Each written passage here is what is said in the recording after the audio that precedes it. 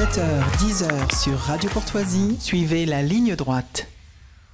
Et on continue cette émission spéciale évidemment dédiée aux résultats des législatives. Quelles leçons faut-il retenir? À quoi faut-il s'attendre? Que faut-il craindre? Faut-il relativiser toutes ces questions un petit peu en suspens hein? On n'a pas tous les éléments encore. On a, on a le nombre de sièges, on a les résultats, mais on n'a pas les réactions de tout le monde. On n'a pas la réaction notamment d'Emmanuel Macron, le principal concerné. Que va-t-il nous dire, ce charmant président de la République? Eh bien, on en parle euh, tout de suite, en fait, avec nos invités. Guylain Benessa, André Berkoff qui nous rejoint dans un instant. Julien Tellier, François Lasselve qui reste avec nous. Merci à tous d'avoir accepté notre invitation. Guylain Benessa, je commence par vous. Euh, j'aimerais juste avoir votre réaction sur euh, la découverte de ces résultats hier soir Est-ce qu'il fallait s'y attendre? Est-ce qu'on a, est qu'on a manqué de, d'analyse? Enfin, comment dire euh, On a sous-estimé en tout cas certainement la force de gauche. Deux remarques rapides, de bonjour déjà, merci pour l'invitation. Euh, en cette matinée un peu curieuse et étrange de, lendemain de d'élection pour le moins bordélique, pour reprendre le, la, façon, la façon de parler d'LFI, deux remarques. Premièrement, à cette antenne avec vous il y a huit jours, euh, ma première réaction avait été au, lendemain du premier tour de dire que la gauche était beaucoup plus puissante que prévu et qu'il fallait pas les enterrer trop tôt. Alors je ne suis pas en train de dire que je suis Madame Irma, mais euh, euh, ou que j'ai une boule de cristal à la maison, mais tout de même, euh, effectivement, ça, ça m'étonne à moitié. C'est-à-dire que le, les, la gauche sait s'unir, la gauche sait faire des alliances, la gauche sait marcher ensemble depuis depuis des décennies. Lorsqu'il faut aller au turbin ensemble, tout d'un coup, les, les différences s'éloignent, on marche comme un seul homme. Donc première remarque, c'est ça. Et deuxième, tout de même, j'ai observé aussi une chose, c'est que je vous raconter ma vie, mais cette semaine, je rentrais de Paris euh, jeudi, je crois jeudi soir, euh, et j'ai constaté, gare de l'Est, qu'il y avait un mur de une de journaux, un mur de journaux, mmh. littéralement, qui, qui faisait exclusivement leur titre sur, en gros, nos passaran. Donc, on avait du monde à franc-tireur en passant par tous les autres. Nous n'avions que ça. Alors, je ne dis pas que ça suffit, mais un mur de une consacré au fascisme du RN pendant huit jours à marche forcée avec tous les autres partis qui vivent sur le fond de désistement totalement invraisemblable dont on parlera, parce que je pense que là, il y a énormément de choses à dire qui ont été beaucoup trop passées sous silence, même si on a parlé un peu hier soir. À mon avis, ça suffit dans le système des législatives à faire que finalement le grand vainqueur s'appelle Emmanuel Macron revenu des décombres pour gérer la situation. De, de, finalement, il est de nouveau au centre du jeu, au centre du game, comme disent les jeunes. Et finalement, le RN est une nouvelle fois dans les clous, dans les choux, pardon, mm. avec un avec plein de questions en suspens et des, et des, et des bricolages qui vont maintenant se poursuivre, puisque nous sommes officiellement rentrés dans une quatrième république sous l'égide de la cinquième, avec un président jupitérien qui nous fait rentrer dans les institutions de la quatrième république. Chapeau l'artiste. Eh ben, bravo pour cette, euh, cette introduction, Guilain Bénessa. Julien Tellier, euh, vous aussi, vous avez euh, certainement été un peu, peut-être un peu déçu par les résultats, mais au-delà de ça, quelles leçons faut-il retenir de, de ce scrutin? Alors tout d'abord, j'aimerais rebondir sur ce que vient de dire euh, C'est vrai, en fait, nous revenons à la 4ème République et nous assistons à une bordélisation de la 5ème qui n'était absolument pas voulue par le général de Gaulle, qui voulait justement échapper au petit jeu des partis et nous mm. y retombons en plein dedans. Euh, par ailleurs, alors c'est vrai, effectivement, on s'y attendait pas du tout. Hein. C'est la grande, alors c'est peut-être la victoire d'Emmanuel Macron, mais c'est la grande défaite des sondages et des sondeurs. À part Elab qui euh, qui situait plutôt bien le, le, les résultats. Mais ce qui ce qui s'est passé hier, en réalité. Euh, c'est la confirmation que le front républicain fonctionne toujours plus ou moins bien et qu'il y a malgré tout un plafond de verre que le RN a du mal à, casser. Euh, voilà, Il mm. le montre encore. Alors, il confirme sa place de premier parti de France, etc. C'est le premier parti euh, à l'Assemblée nationale, il faut quand même le rappeler. Euh, mais, pas, de, pas de majorité. on est loin des promesses qui étaient tenues. Hein. Oui, non, mais c'est très clair. Et puis, loin aussi de, cet espoir levé avec une union des droites qui, finalement, pardon, mais a fait, a fait un petit flop. je rappelle quand même à nos auditeurs 190 alors, les, chiffres sont à prendre avec précaution parce que c'est pas encore très clair. 190 hein. mmh. euh, sièges pour euh, Nouveau Front Populaire d'hiver gauche. Euh, pour le RN et, ses alliés, 143 sièges. LR d'hiver droite, 66. Ensemble, 150 Horizon 6, donc 156 pour en gros le camp présidentiel. donc ça rabat complètement les cartes, tout ce qu'on avait imaginé. quelles, sont les, quelles sont les conséquences, Guilain Benessa? Alors, encore une fois, il est peut-être un peu tôt pour, euh, pour imaginer ce que va décider Emmanuel Macron euh, aujourd'hui ou dans les jours qui viennent. Euh, d'ailleurs, est-ce qu'il n'y a pas une limite pour prendre des décisions là? Alors attendez, on rentre dans, le royaume de l'inédit. Alors on rentre dans le royaume de l'inédit parce que pour l'instant, dans une situation aussi trouble, nous avions par le passé reçu, obtenu plutôt ou, expérimenté la cohabitation qui mm. paraissait être euh, l'espèce de, de, de, solution de crise la moins catastrophique, qui était déjà totalement contraire aux institutions. Hein. Vous vous rappelez, parce que on, on, parle de cohabitation depuis maintenant 15 jours euh, potentiel avec Jordan Bardella à, Matignon, évidemment, ça s'est terminé. Mais de toute façon, la cohabitation est déjà une monstruosité, une anomalie par rapport à l'ADN gaulien des institutions. C'était déjà une solution de rattrapage qu'on était censé ne plus avoir. Or maintenant, il ne s'agit même plus de jouer au jeu de devine qui vient cohabiter, parce que c'est un peu ça, c'est c'est le devine qui vient cohabiter depuis huit jours. Mais en fait, c'est même plus ça. C'est que vu qu'on est en trois blocs qui aujourd'hui ne veulent rien dire par rapport au rapport de force à l'Assemblée, puisque aujourd'hui, demain, après-demain, on va commencer les tractations pour constituer des groupes. Le nouveau Front populaire n'est pas un groupe. C'est mm. une espèce de coalition purement électorale qui va devoir demain s'installer à l'Assemblée, trouver des terrains d'entente, et en fait, on rebat les cartes. Ouais à mon sens, mais là, je, je m'avance beaucoup. Euh, on entend depuis hier soir Emmanuel, enfin, les sbires d'Emmanuel Macron et également d'LR et consorts parler de coalition en tout genre. Donc les tractations vont démarrer pour constituer potentiellement un groupe à l'Assemblée qui ne sera pas nécessairement le groupe type NFP, mais autre chose, qui potentiellement, et je dis bien potentiellement, peut donner une majorité au camp présidentiel qui sera un nouveau camp présidentiel qui pourrait aller effectivement, alors là, je, suis un peu vite en besogne, mais de, de, Philippe Poutou, qui ne siégera finalement pas, mais des communistes, à une sorte de, de, camp présidentiel de centre-droit pour tenter d'évincer LFI et d'évincer l'ERN. Alors, on, poursuit cet entretien, euh, si vous voulez bien, euh, Guilain Bénessan, euh, André Berkoff qui nous rejoint, Julien Tellier, François Lessel, juste après le bulletin d'actualité, il est 8h. Ligne droite, législative, émission spéciale. On continue d'analyser euh, ce, scrutin des législatives. André Berkoff nous a rejoint. Bonjour André Berkoff. Bonjour Maude. Bon alors comment allez-vous euh, Gueule de bois ou, euh, relativisme? Vous êtes comment ce matin? Non, ni gueule de bois, ni gueule de bois, ni jovialité. je dois dire que la grenade dégoupillée de Macron a plutôt bien marché pour lui. Ouais. Je ne sais pas si c'est retour à l'envoyeur boomerang, mais non, c'est tout à fait euh, ce qui est fascinant dans cette histoire. C'est comme ça. on va, on va, on va, on va un tout petit peu rêver. Hein. On va rêver à la proportionnelle. Faites-nous rêver. Vous savez que normalement, dans une démocratie qui tient, euh, plus vous avez de voix, plus vous avez de sièges. Oui. Or, normalement, mais là, nous sommes dans scrutin nominal de tours, etc., etc.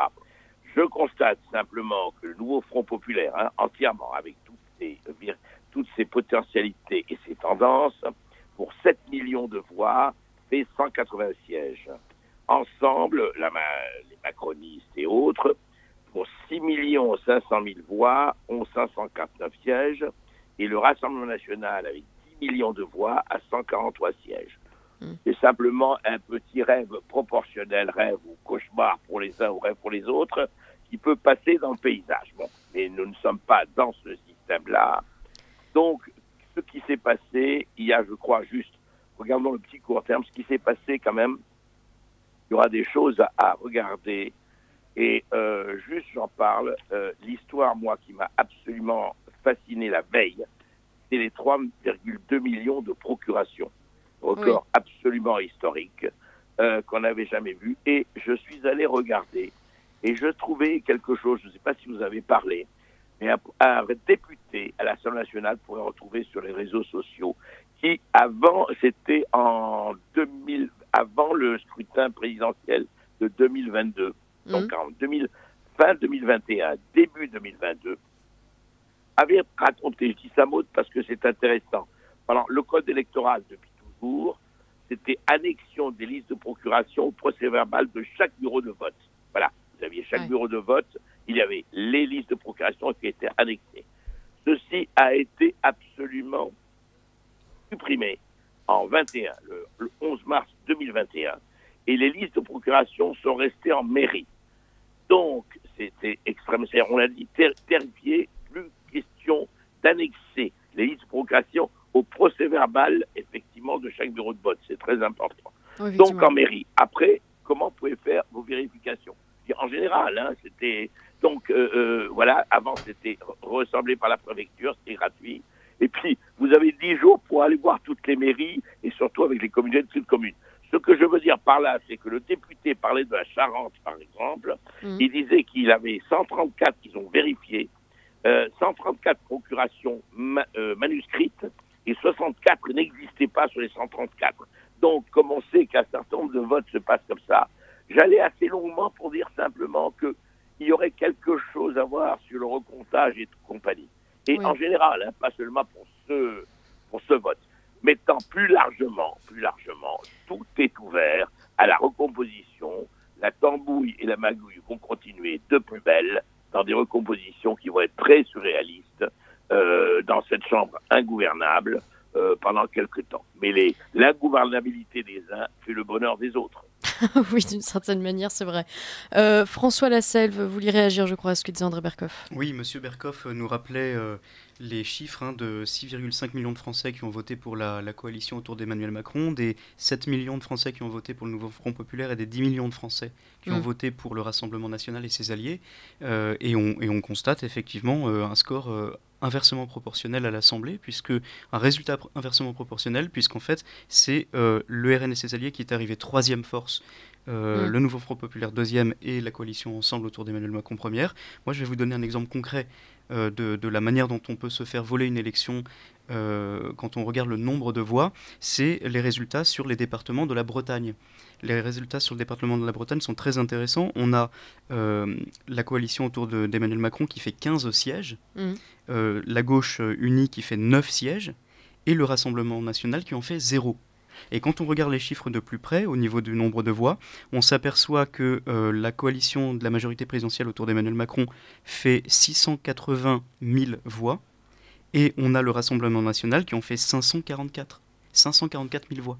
Ah Vous imaginez, zéro siège avec 544 000 voix, et d'un autre côté, on a 680 euh, 000 voix, 15 sièges. Et quand vous regardez par exemple la gauche qui fait 9 sièges avec 346 000 voix, si on fait le calcul, la gauche fait 200 1000 voix de moins que le Rassemblement national et obtient 9 fois plus de sièges.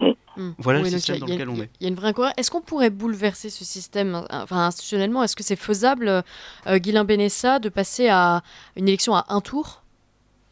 Alors, une remarque. Euh, hier soir, quand André Berkoff a raison hein, de rappeler les, comme ça de, faire le tri entre les enfin de, de calculer les, montants de voix ou les sommes de voix cumulées d'autant plus que et, vous savez il faut bien comprendre, Maud, mais tout le monde maintenant l'a réalisé, nous entrons dans l'ère, quand je disais quatrième république, ça veut dire quoi? Parce que hier, depuis hier soir, pas mal de gens le disent, on a la quatrième sous l'égide de la cinquième. Macron nous, nous, a, nous a préparé, concocté ce programme finalement.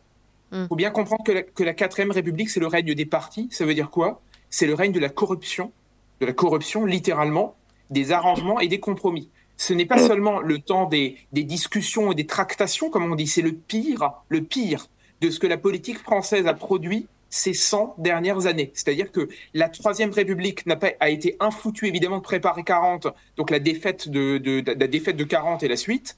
La Quatrième République a sombré face à l'Algérie française, euh, je veux dire, et évidemment, c'était euh, c'est le général de Gaulle qui a dû concevoir la cinquième. Et maintenant, nous rentrons dans, la, dans, une espèce de quatrième, mais une quatrième empire, parce que c'est la Quatrième République avec un morceau de la cinquième, et en même temps, la bordélisation d'Alefi. Hmm. Donc, concrètement, c'est une situation inédite parce que ce bordel-là, nous n'avions pas sous la quatrième République. On n'avait pas des gens indignes avec des tenues criards qui, qui, balancent des, des noms d'oiseaux à l'Assemblée. Mais pour vous répondre clairement sur le proportionnel, hier soir, tous ceux qui d'habitude ne jurent que par la proportionnelle, des types comme François Bayrou, par exemple, le modem adore la proportionnelle en disant nous n'existons pas sans la proportionnelle, il faut instiller une dose de proportionnelle parce que les petits partis comme euh, Modem, Horizon et d'autres ont du mal à exister. Hmm.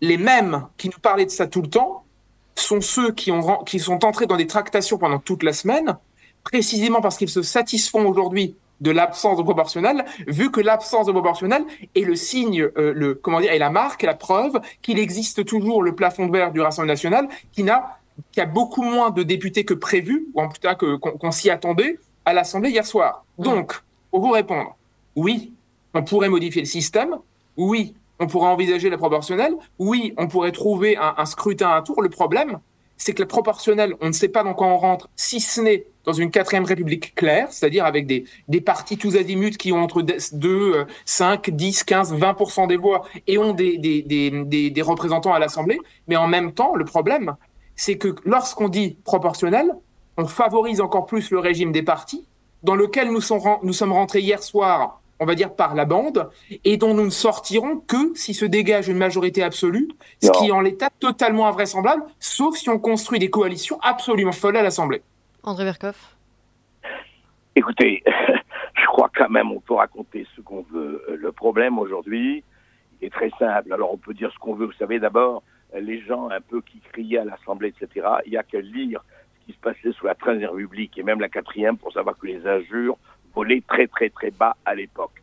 Donc je crois que le problème n'est pas là du tout. Le problème c'est que au, fond c'est intéressant. Macron, le Caligula de sous-préfecture pour les uns et remarquable pour les autres, a, à la fois, a réussi son coup et raté son coup. Je m'explique. Réussi son coup parce que le problème était d'introduire le, le, le, le, bordel et d'avoir une chambre ingouvernable dans laquelle, il faut rappeler encore, il peut, il a, lui, une marge de manœuvre formidable. En attendant mm. la prochaine dissolution dans un an, il peut démissionner, il peut faire marcher l'article 16 si mm. le bordel s'installe un peu trop. Euh, et puis, et puis, et surtout, qu'est-ce qui s'est passé? Il s'est passé que, comme d'habitude, dans ce scrutin de République bananière, pour moi, qui, qui est un scrutin qui devrait être à une fois, un jour, et pas à deux tours, Deuxième, c'est ça le plus important, et la proportionnelle, bon, beaucoup de choses à dire, mais au moins on sait où on va. Là, pas du tout. Qu'est-ce qui s'est passé? Il a eu le temps de reconstruire le plafond de verre. Il a eu le temps d'une droite sidérée euh, face au Cobra, qui s'est dit, oulala, absolument, nous, nous ne créons pas. C'est le, le, vrai problème, très intéressant. C'est l'histoire du Rassemblement national depuis 50 ans d'abord avec Jean-Marie Le Pen et depuis 20 euh, ans avec Marine. Qu'est-ce qui s'est passé? C'est qu'on dit toujours, ou encore une fois, et ce, cet impensé là, où vous estimiez à l'époque le Rassemblement national est un parti illégal et anti-républicain et vous l'interdisez, or euh, évidemment ce n'est pas le cas, ou vous l'acceptez et vous acceptez effectivement qu'il existe dans l'arc républicain. Or, tout, à droite, y compris dans la droite traditionnelle, a consisté à dire ah oui, il est là, on ne peut pas faire autrement, mais alors c'est vraiment le voisin qui ne sait pas se, tenir, qui mange avec les doigts et qu'on va laisser euh, dans le magasin ou ses accessoires. Sauf que ça marche comme ça, on a vu les trucs. Alors, de deux choses l'une, où on accepte euh, euh, de, discuter avec, eh bien, qu'est-ce qui s'est passé? Pendant le, la gauche faisait la caricature magnifique de Mitterrand, qui a réussi avec un programme commun en deux semaines, eh bien, la droite se divisait, enfin la droite, ce qu'on appelle la droite, se diviser encore plus. Ça a été extraordinaire cette semaine. Cette mm. semaine a été non pas la journée des dupes, mais la semaine des dupes. C'est-à-dire cocu, battu et content. Voilà. Et, évidemment que la. Ça pourrait faire un slogan. Euh, pardon. Et le nouveau Front populaire va se rediviser. Et là, les tractations vont pouvoir aller dans ce merveilleux parti du centre. Nous allons prendre à droite du NFP, nous allons prendre à gauche du LR, et nous allons essayer de rebâtir une majorité euh, qui tiendra coûte que coûte.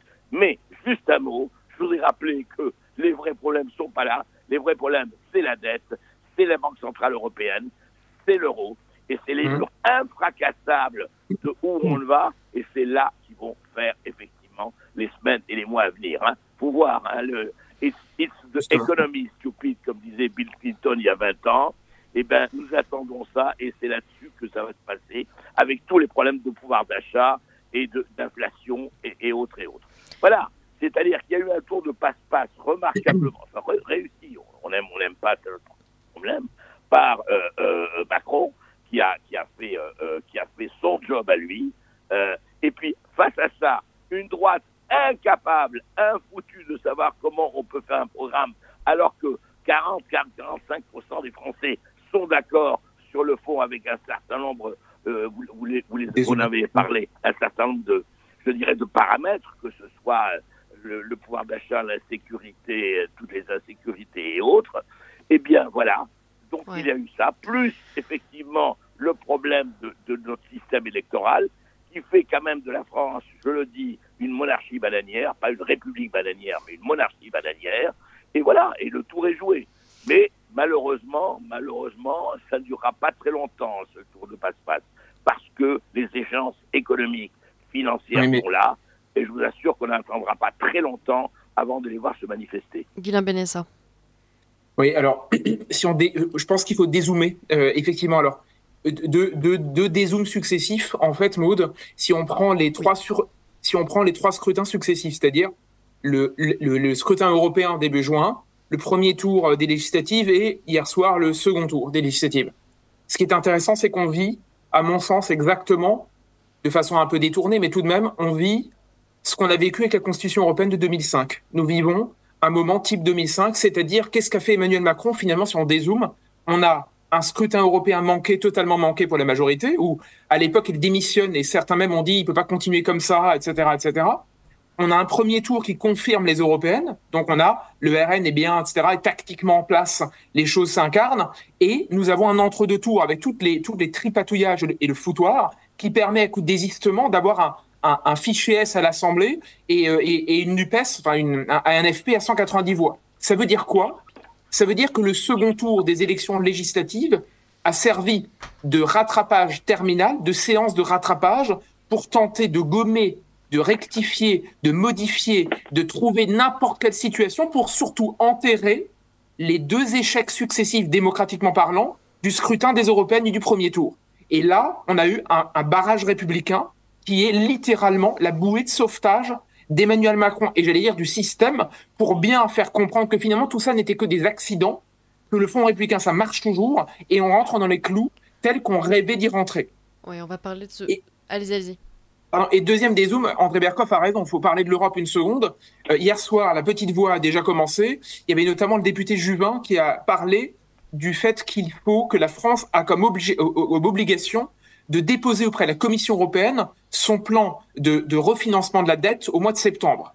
Ce qui veut dire que durant l'été, il va falloir, un, gérer évidemment les Jeux olympiques, en parallèle, dénicher un gouvernement, trois, préparer les échanges de septembre avec le budget, et quatre, d'aller voir le gendarme financier qui s'appelle la Commission européenne pour déposer un plan relatif à la dette française qui va conditionner les aides européennes pour les années à venir, notamment pour les cinq ou sept ans à venir. Ce qui veut dire que Aujourd'hui, vous savez, mon dernier bouquin dont on parle avec vous, Maude, On marche sur la tête.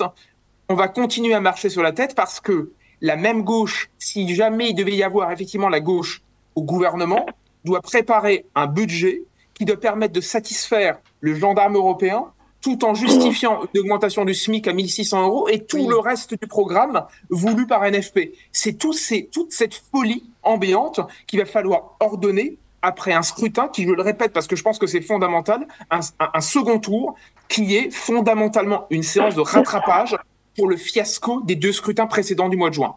Hum, François Lassalle.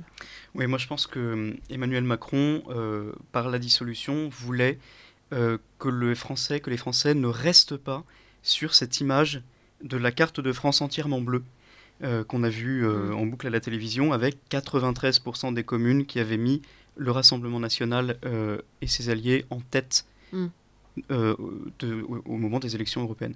Et, je pense que la stratégie était celle-là, c'était de, ne pas rester là-dessus. Euh, on vit vraiment un moment où la démocratie est malade, c'est une crise de la représentativité. Il n'est pas normal qu'un parti qui est au second tour de l'élection présidentielle et qui a été longtemps troisième, qui était une force très importante ces dernières années, n'ait eu que euh, deux députés en 2012, 8 députés en 2017, 89 députés en 2022 et seulement 143 en 2024, ce qui est déjà une belle progression et ce qui en plus, il faut le rappeler, est le premier, ça a été largement commenté, mais le premier euh, groupe euh, de députés à l'Assemblée nationale, hein, parce que mm. même Renaissance en a 99. On ne parle pas de coalition, mais on parle de groupe de députés. Mm. Voilà. Et moi, ce que je retiens de, de ces élections et de ces résultats, c'est que l'union fonctionne je, vois que, alors l'union fonctionne, je vois que les, coalitions électorales en tout cas fonctionnent, puisque on, a, on gomme le score des partis avec ces coalitions électorales qui en plus ont permis si on y ajoute le, jeu des désistements, de faire élire un certain nombre de députés qui n'auraient pas été élus sinon. Et euh, je pense à, ce, à, cet égard que les républicains, LR, portent une grande responsabilité dans euh, le score euh, minoré du Rassemblement national et de ses alliés avec Éric Ciotti, avec Marion Maréchal, puisque les républicains n'ayant pas voulu s'allier et ayant maintenu des candidats contre cette alliance, ont, ont fait 66 sièges qui auraient pu être dans le bloc de droite et surtout qui ont fait perdre euh, mm. les candidats qu'ils ont placés qui n'ont pas été euh, retirés euh, ont fait perdre un certain nombre de personnes. Et je pense notamment à Nicolas Dupont-Aignan dans l'Essonne, qui a perdu son siège de député puisqu'un candidat LR s'est présenté contre lui et s'est maintenu dans la triangulaire. Après, est-ce que l'union au niveau des dynamiques électorales, non pas dans, le, nombre de députés dans l'Assemblée, mais le, mode d'élection, est-ce que cette union va déboucher sur euh, une recomposition qui va favoriser les, de nouveau les partis de masse, je ne le sais pas, mais c'est peut-être une tendance à observer. Mm. Une première coalition pour se faire élire. Aujourd'hui, on en est à ce que des groupes euh, se, se, reconstituent au lendemain de ces élections, et, on l'a vu avec la gauche. Hein. Au, lendemain de l'élection euh, qui a porté un, un, certain nombre de candidats du Nouveau Front Populaire, le soir même, ils expliquaient pourquoi ils n'étaient pas d'accord entre eux et quelles stratégies ils avaient de différents. Voilà, on va, euh, les, les, les, comment dire, voilà, c'est complètement éclaté. Mais on ne sait pas si dans à l'avenir, euh, tirant la leçon, tirant la leçon de cela, ils vont pas reconstituer des grands partis de masse. Hum, hum. Euh, Julien Théier, on vient de parler de crise de la représentativité. Finalement, tout le monde s'accorde là-dessus. Est-ce que c'est une fausse victoire démocratique pour la gauche Pour conclure ce chapitre? Alors, je vais peut-être vous surprendre, mais je vais dire que, que non. En réalité, euh, si on prend le scrutin aujourd'hui tel qu'il est et tel qu'il fonctionne, non. Euh, le, Front républicain a fonctionné euh, comme il devait et les Français ont reporté leur voix, qu'ils aient voté pour LR ensemble au, premier tour. Mmh. Ils ont reporté leur voix majoritairement à gauche. Et les... Alors, effectivement, si on le prend à la proportionnelle, par circonscription, on se rend bien compte qu'une majorité de Français a quand même voté pour le RN. Ce qui risque de se passer, euh, c'est qu'au lendemain euh, de, ce second tour, euh, ces Français euh, se voient lésés, ne comprennent pas pourquoi d'un coup euh, ils arrivent en troisième, leur parti arrive en troisième position euh, et finalement est une force minorée par rapport au bloc central et au bloc de gauche. Mm. D'autant qu'on leur avait vendu que Jordan Bardella était arrivé en tête aux européennes et que ça allait être un raz-de-marée mm. bleu, marine. donc il risque d'y avoir en tout cas une colère qui, qui va peut-être monter et qui, je ne sais, je ne sais pas quels, quels seront les germes euh, que, que ça pourra donner. Hmm. Euh, toujours est-il, euh, on a aujourd'hui un centre qui est renforcé oui, c'est clair. largement et un Édouard Philippe complètement inattendu, ça, et un Édouard Philippe qui lui est complètement sorti du bois et qui est là hmm. prêt à, à euh, on parlait de, ce front républicain qui a donc fonctionné. Euh, euh, André Berkoff, tout à l'heure, vous évoquiez Jean, le Jean-Marie Le Pen, le, Front National de l'époque. Je voudrais vous faire écouter ce que disait Roland Dumas il n'y a pas si longtemps que ça. Alors, j'ai pas la date sous les yeux, mais Roland Dumas, vous, vous avez bien connu André Berkoff. Écoutez. Elle vous séduit ou elle fait peur, Marine Le Pen Elle ne fait pas peur. peur. Même Le Pen c'est pas peur. La dernière fois, c'était une rigolade. La menace de Le Pen, on a fait voter tous les socialistes comme des couillons qui sont allés voter pour Juppé ou je sais plus qui. Enfin, c'était une rigolade. Du grand Roland Dumas. C'est en 2011, André Berkoff. Bah écoutez, ce qu'on peut dire, c'est que les couillons ont fait des petits. Hein. En tout cas, si la progression démographique marche, c'est sur les couillons. Ça marche très très très bien, ce que disait Roland Dumas, effectivement. Euh, d'ailleurs, Lionel Jospin l'avait dit aussi. Oui, exact. On l'a passé tout à l'heure. La fasciste était du théâtre, mais mm. bon, on joue avec le théâtre. Et ça, c'est la politique. Hein. C'est de bonne guerre. Euh, qu'est-ce que vous voulez Quand ça ne va pas, on va dire voilà, les Waffen-SS arrivent, ils vont faire boire leurs chevaux place de la Concorde et les camps de concentration se rouvrent. Mm. Bon. Mais au-delà de la caricature, je crois qu'il faut vraiment dire quelque chose. C'est incontestablement, même si ça dure encore, les cadavres durent encore, la Ve République telle qu'elle a été faite, elle, elle a montré ses limites et elle a montré aujourd'hui, c'est-à-dire la République de l'homme seul, les, le costume. Ah, on a perdu André Berkoff euh, en pleine analyse. On le rappelle. Euh, Guylain Bélessa, peut-être pour reprendre le flambeau. Alors, euh, André disait, se poser la question de savoir si la, la cinquième tient toujours, la cinquième République. Alors, est-ce que c'est la cinquième République d'un homme seul? Oui, c'est clair, mais en même temps, vous savez, je, je, je trouve surtout au, lendemain de cette démission, parce qu'il faut quand même faire le bilan de cette démission. On est, on, est trop, on a, on a, le nez dans le guidon et on est focalisé sur la proportionnelle ou pas, le RN en tête alors qu'il l'est pas, etc. Je suis mm. d'accord, mais il faut quand même se demander après trois semaines à quoi ça a servi. Tout de même, euh, euh, Emmanuel Macron a pris le risque de dissoudre et trois semaines plus tard, on a cette assemblée. Qu'est-ce que ça nous dit de nos institutions? Vous savez, le problème, il est simple, mode, et, et je répète ça à mes étudiants de droit constitutionnel depuis environ 12 ans, 12-13 euh, ans maintenant, ça me rajeunit pas non plus. Je leur répète toujours la même chose, c'est que la, la, la, formule générale de Gaulle, c'était pas de pouvoir sans responsabilité, pas de responsabilité sans pouvoir. C'est-à-dire que vous êtes un, vous avez des responsabilités, vous avez du pouvoir, et, et, et ça fonctionne comme un lien indissociable. Et la deuxième chose qui était claire dans nos institutions dès le départ, c'est que c'est le plus beau des costumes. La Ve République attribue un costume à celui qui qui le porte, mais encore faut-il en être digne. Ça veut dire que ce sont des instants particulières qui reposent sur une dose de monarchie et de république, ces fameuses monarchies républicaines. C'est difficile à tenir. Or, Emmanuel Macron et, moi, là, pour le coup, je suis sidéré par la faiblesse et la et, l'inconsistance des, des, observateurs. Ça fait sept ans que nous avons élu un président de la République, enfin nous, euh, a été élu un président de la République qui est jupitérien, qui se volait au-delà des partis, qui était même conçu, enfin pensé restaurer une certaine pratique des institutions. Vous vous rappelez euh, verticalité, euh, dignité, euh, Jupiter contre la, la, mollesse de François Hollande, c'était tout ce que nous avait vendu.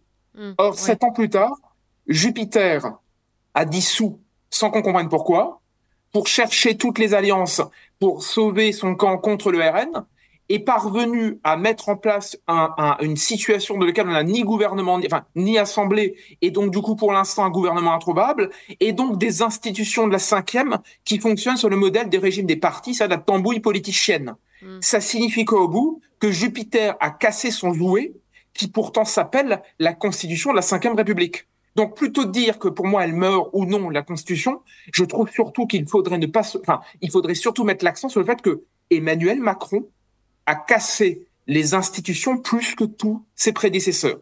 Il a littéralement flingué la constitution de la Ve République. Alors c'est vrai qu'elle marchait de plus en plus mal avec ses prédécesseurs, mais il n'empêche, c'est surtout que le personnel politique n'est plus du tout à la hauteur de nos institutions. Et hier soir, lorsqu'on a vu une armée de gens de gauche qui tout d'un coup s'est mis à critiquer LFI, avec lesquels les LFistes, avec lesquels ils ont fait une alliance qui tenait dix minutes plus tôt, pour gagner des élections tout en disant après LFI, c'est une bande d'antisémites, pour ensuite pactiser potentiellement avec des mecs de LR, alliés hier à Macron, parce qu'eux-mêmes détestent le RN, en, tout en sachant que c'est un théâtre, très honnêtement, c'est tellement le royaume de la médiocrité que je crois même que la Ve République est beaucoup trop, est beaucoup trop belle pour eux, tout simplement. Hmm.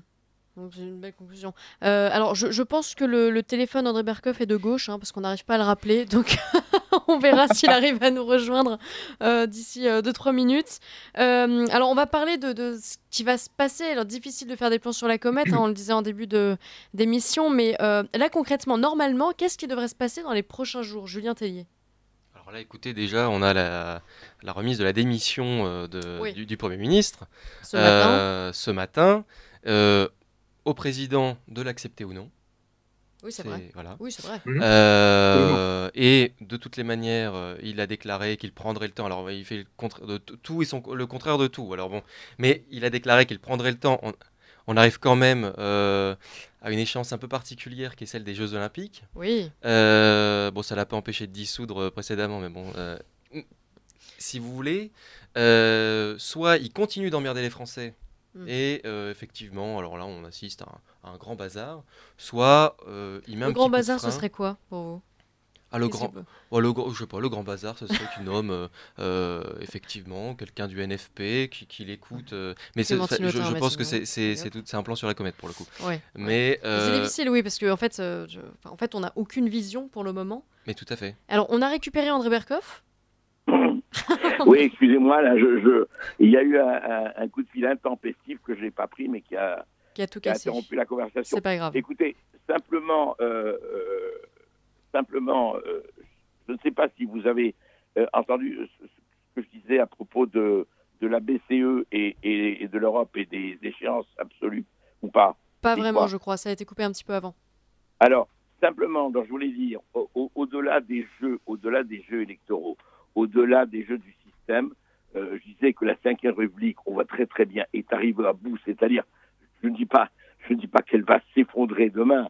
Euh, il est des cadavres euh, qui durent très longtemps, mais le système tel qu'il existe, à la merci d'un seul homme, que ce soit Macron ou quelqu'un d'autre, ne peut plus, dans, l'état actuel des choses, ne peut plus fonctionner sans contre-pouvoir. Et le problème, vous le savez très bien, euh, que ce soit le Conseil constitutionnel, la Cour des comptes ou le Conseil d'État ou autre, il n'y a pas de contre-pouvoir. Ne parlons pas des référendums.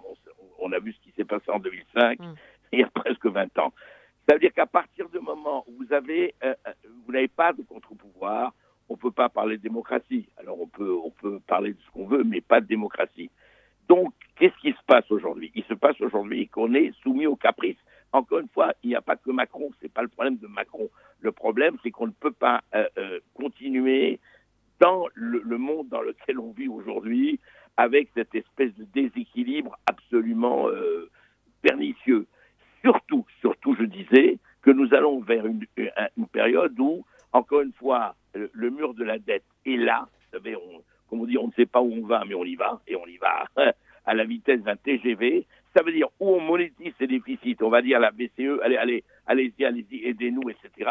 Ça veut dire que l'euro va prendre plein la tronche, comme il a déjà pris, et les taux longs, c'est les taux d'intérêt, vont hausser de plus en plus avec l'inflation, etc.